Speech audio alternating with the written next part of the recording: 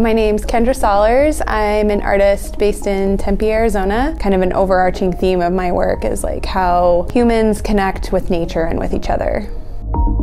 So, the process for my piece called Synthesis, a lot of times will film myself underwater to create different imagery. So, for this piece, I set a tripod on the bottom of the pool and film myself doing various movements that are not really artistic swimming movements, but use my background as an artistic swimmer.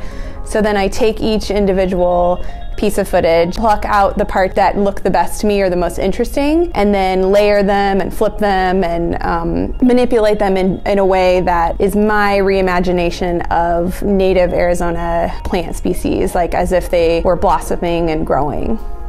So for this workshop, I'm basing it off of my digital video projection called Synthesis. I will be asking participants to bring a still image of either themselves, a friend, a family member, or even a pet, and then we'll manipulate it in a similar way for people that are planning to attend the workshop. Um, just make sure that you download GIMP, which is the program that we'll be using. Come with that loaded on your laptop before arriving, and you should be all set, and I hope to see you there.